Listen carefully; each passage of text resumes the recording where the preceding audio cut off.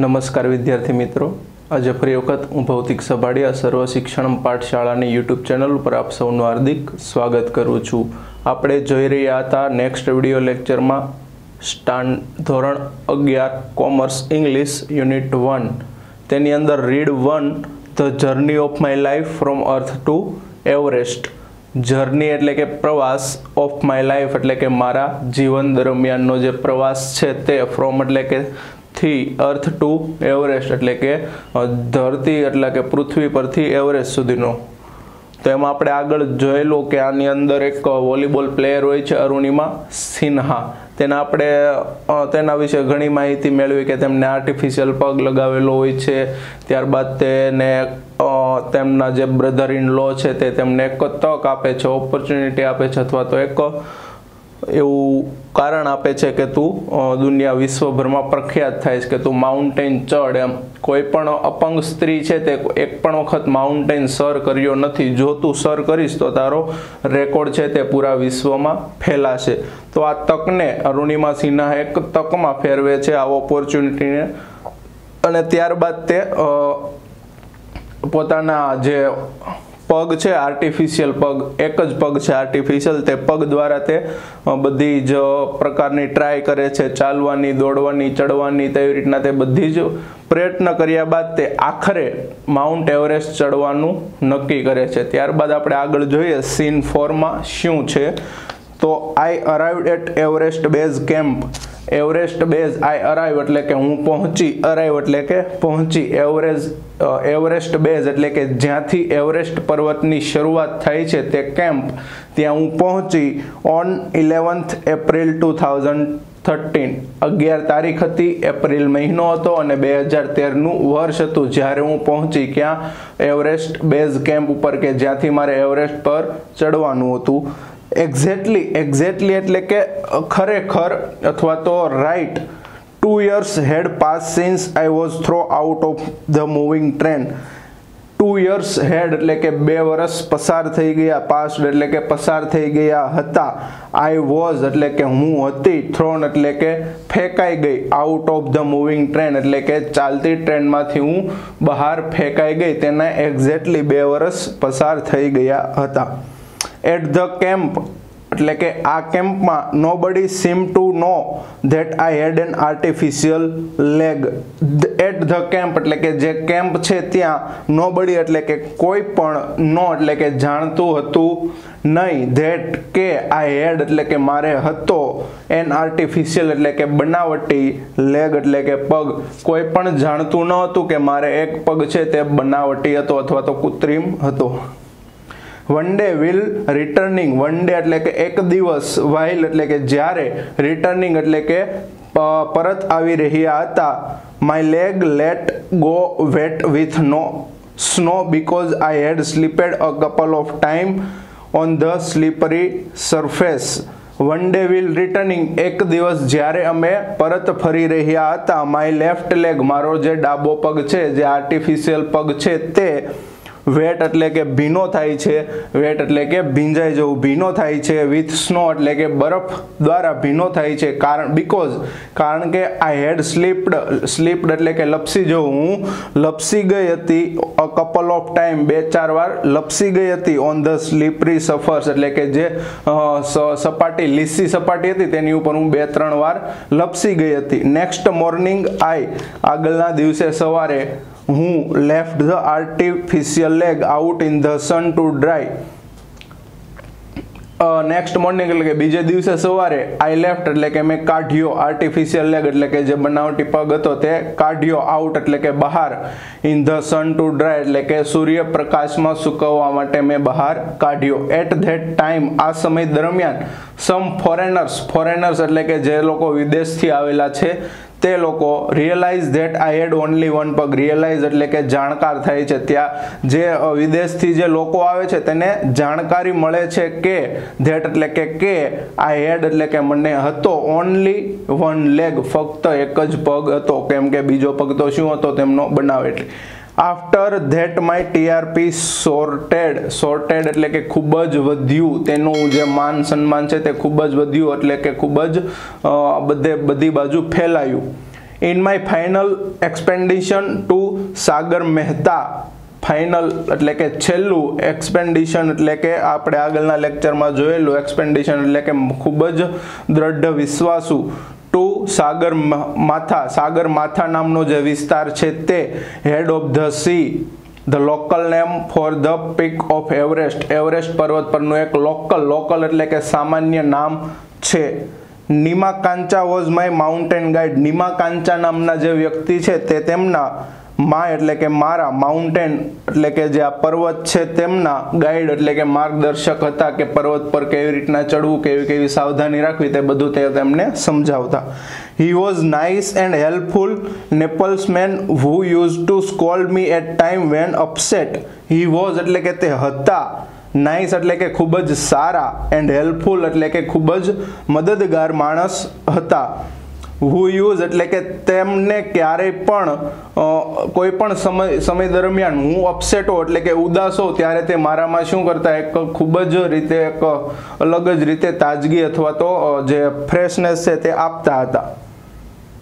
The last track to the peak of Everest began the last track એટલે કે છેલ્લો રસ્તો ટુ ધ પીક એટલે કે પહોંચવા માટેનો એવરેસ્ટ ઉપર પહોંચવા માટેનો શરૂ થાય છે. It was very dangerous narrow path it was એટલે કે તે હતો વેરી એટલે કે ખૂબ જ ડેન્જરસ એટલે કે જોખમી. તે રસ્તો ખૂબ જ જોખમ ભરેલો હતો.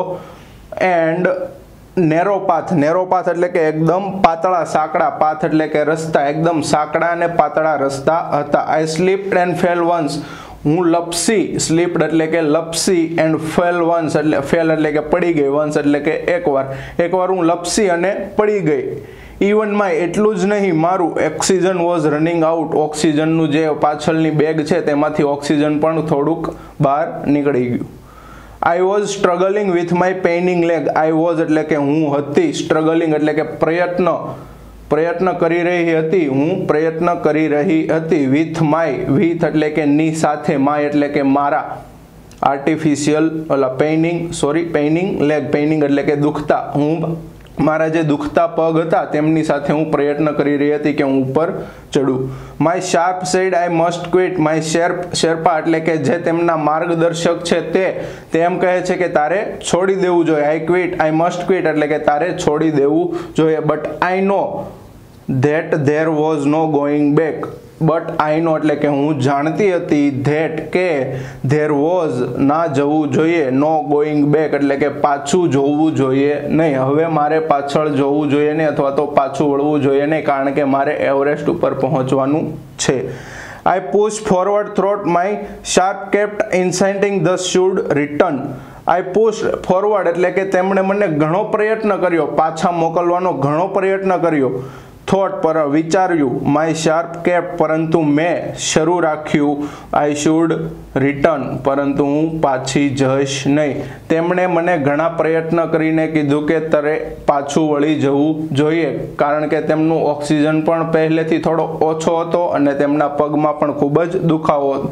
તેથી તેને પાછા વળી જવાની સલાહ આપતા હતા, પરંતુ તે પાછું વળવાનું હતું નહીં. I have enough oxygen to reach the summit and hoist the country's flag. I, I have enough એટલે કે મારી પાસે હતો enough એટલે કે પૂરતો ઓક્સિજન મારી પાસે પૂરતો ઓક્સિજન હતો ટુ રીચ એટલે કે પહોંચવા માટે ધ સુમિટ સુમિટ એટલે કે ઉપર ટોચ પર પહોંચવા માટે મારી પાસે પૂરતો ઓક્સિજન હતો. એન્ડ હોસ્ટ હોસ્ટ એટલે કે ફરકાવો અને ત્યાં જઈને મારે ફરકાવવાનો હતો. કન્ટ્રીઝ ફ્લેગ કન્ટ્રીઝ એટલે કે આપણા જે દેશનો ફ્લેગ એટલે કે ધ્વજ. આપણા દેશનો જે ધ્વજ હતો તે મારે ત્યાં જઈને ફરકાવવાનો હતો. What happen આફરવેર doesn't matter any more what happen શું થયું આફ્ટરવેર ત્યારબાદ ડઝન્ટ મેટર ડઝન્ટ એટલે કે કંઈ પણ મેટર એટલે કે બાબત એની મોર નથી. એટલે કે હું જ્યારે ત્યાં ધ્વજ ફેલાવું ત્યારબાદ કાંઈ પણ થાય, મને કોઈ પણ પ્રકારની કોઈ પણ બાબત છે નહીં.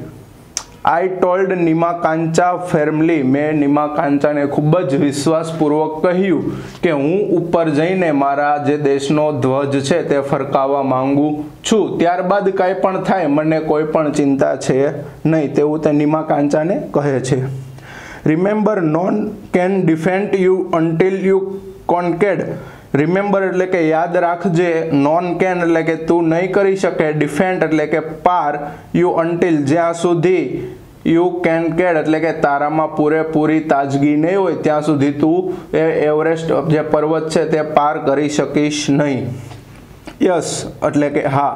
Occasionally failure will test you but keep trying occasional એટલે કે જે ઓક્સિજનના લીધે ઓક્સિજનના લીધે ફેલિયર એટલે કે તું ફેલ થઈશ વિલ ટેસ્ટ પછી ટેસ્ટ એટલે કે તારો જે પ્રયત્ન કરવાનો છે યુ બટ કીપ ટ્રાઈંગ પરંતુ તે પહેલાં તું ટ્રાઈંગ એટલે કે પ્રયત્ન કરી શકે છે. જો તને એમ કહેવામાં આવે કે તું ઓક્સિજનના લીધે ફેલ થઈ છો, તે પહેલાં તું એક પ્રયત્ન કરી શકે છે.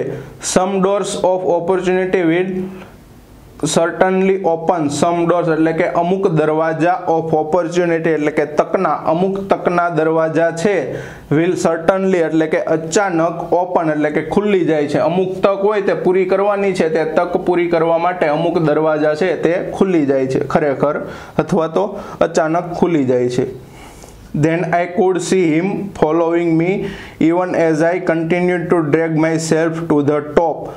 Then I could એટલે કે ત્યારબાદ આઈ કુલ્ડ એટલે કે મેં જોયું હિમ એટલે કે તેમને ફોલોવિંગ મી એટલે કે મને મારું અનુસરણ કરતા તે મારી પાછળ પાછળ આવતા હતા, કારણ કે મને આગળ કાંઈ થઈ ગયું તો તે મને સંભાળી શકે તે માટે તે મારી પાછળ પાછળ આવતા હતા. ઇવન એટલું જ નહીં એઝ આઈ કન્ટિન્યુ મેં પણ ચાલુ રાખ્યું ટુ ડ્રેગ એટલે કે સર, ઉપર તરફ myself to the top એટલે કે મારી જાતને ઉપર તરફ જવાનું મેં ચાલુ રાખ્યું.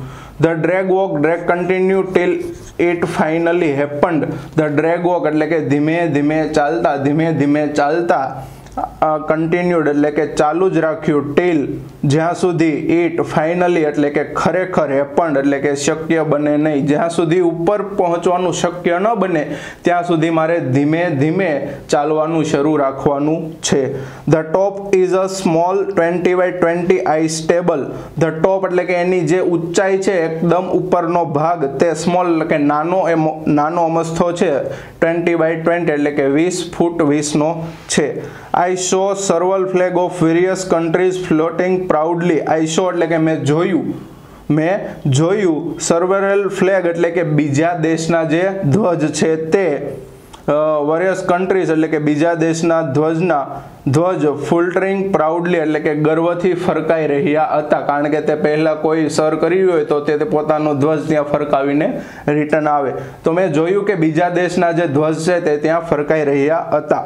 I had live this moment so many time in my mind એટલે કે આઈ હેડ લીવડ એટલે કે હું ઘણી, હું જીવવા માગું છું ધીસ મુમેન્ટ એટલે કે આ ક્ષણ.